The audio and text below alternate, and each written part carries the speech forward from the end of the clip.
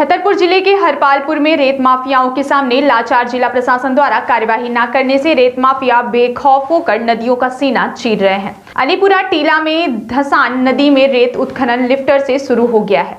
रेत माफिया के हौसले इतने बढ़ गए हैं कि अब रात के अंधेरे में चोरी छिपे नहीं, बल्कि दिन दहाड़े नदियों का सीना चीर कर रेत लूट रहे हैं।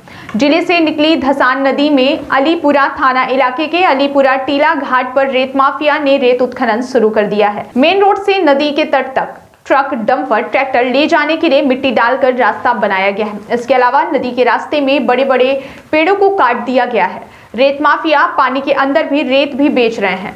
इसके लिए अलीपुरा टीला घाट में आधा दर्जन से अधिक लिफ्टर लगाए गए हैं। अलीपुरा टीला से निकाली जा रही अवैध रेत छतरपुर नौगांव, हरपालपुर और मौरानीपुर तक सप्लाई हो रही है। टीला के अलावा खखौरा घाट से भी रेत का उत्खनन किया जा रहा है। इधर घाट के किनारे की रेत अवैध उत्खनन के चलते खत्म हो गई है। अब रेत माफिया नदी के पानी के अंदर से रेत निकाल रहे हैं। इसके लिए डीजल इंजन से चलने वाले लिफ्टर नदी में उतारे गए हैं। लिफ्टरों से।